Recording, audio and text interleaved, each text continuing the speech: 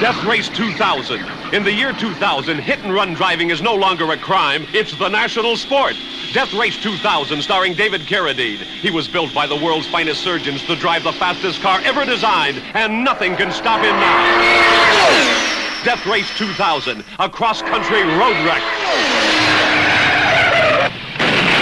Rated R, under 17, not admitted without parent. Battered, shattered, creamed and reamed, soaring to glory in their mean machines. Death Race 2000, David Carradine, Simone Griffeth, she's young, he's crazy. There's nothing they won't do at 200 miles an hour. Hold on. Death Race 2000, God help anyone who gets in their way.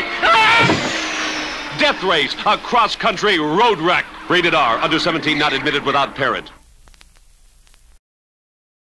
In the year 2000, you won't need Boy Scouts to help you cross the street. You'll need an armed guard. The traffic is murder in Death Race 2000, starring David Carradine. I was brought up in a government training center to be just what I am, the best driver on earth. Death Race 2000, the cars of the future in a cross-country road wreck. Death Race 2000, a new world picture rated R under 17, not admitted without parent.